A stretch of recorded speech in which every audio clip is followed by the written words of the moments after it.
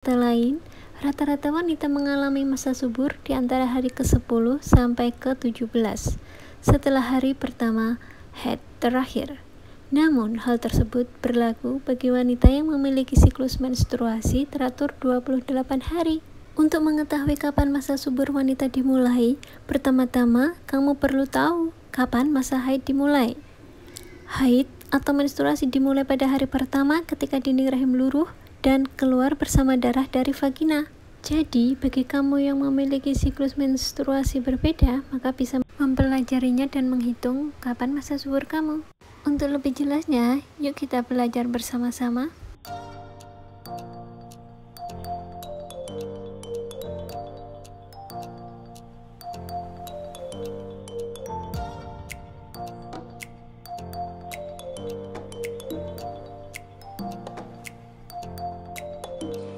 Ya teman-teman, di sini saya sudah menyiapkan kalender buat kita untuk menghitung supaya lebih mudah dan teman-teman mengerti kapan sih masa subur aku tuh sebenarnya. Nah, sekarang sangat mudah sekali ya teman-teman menghitung masa subur kita.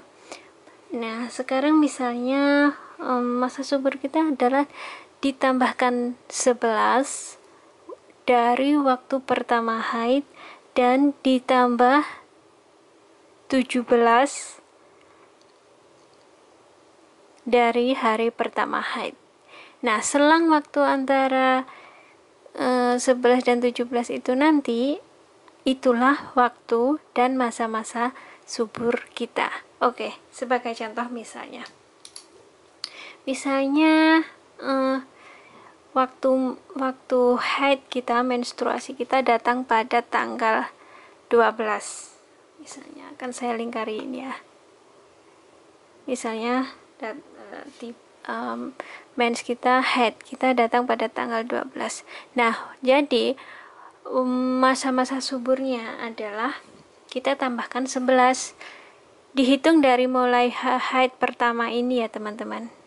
Haid pertama ini kita hitung. Tambahkan 11 1 2 3 4 5 6 7 8 9 10 11 nah di tanggal 22 22 dan kita akan tambahkan lagi ke 17 dari haid pertama ini.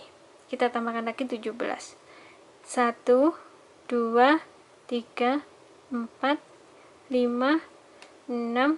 7 8 9 10 11 12 13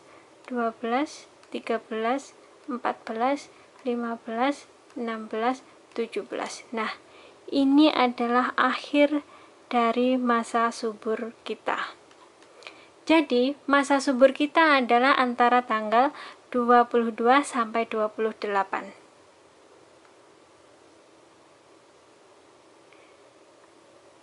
jadi ada satu 2, 3, 4, 5, 6, 7 7 hari adalah masa-masa subur kita setelah haid. Jadi teman-teman mengerti kan masa subur kita adalah tambahkan 11 dari hari pertama kita haid dan tambahkan 17 itu adalah akhir dari hmm, masa subur kita dan semoga video ini bermanfaat buat teman-teman semuanya. Sampai jumpa di next video. Assalamualaikum warahmatullahi wabarakatuh